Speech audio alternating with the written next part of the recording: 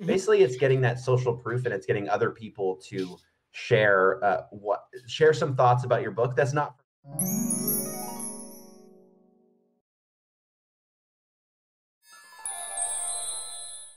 Curating our hit list. Um, and so, Jordan, this is a, a term that uh, that you had, had sort of mentioned. So uh, please feel free to uh, share a little bit here. I'll start. Uh, intro to book endorsements, curating our hit list. Okay, so take it Good away. Deal.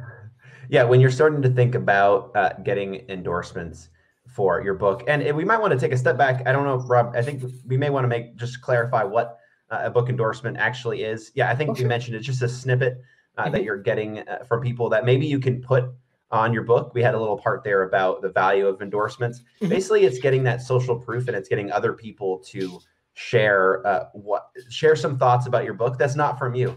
Uh, some of the most effective marketing you can do is word of mouth, and this is just one way to spread that by getting a person other than yourself to talk about uh, your book. So I just want to mention that.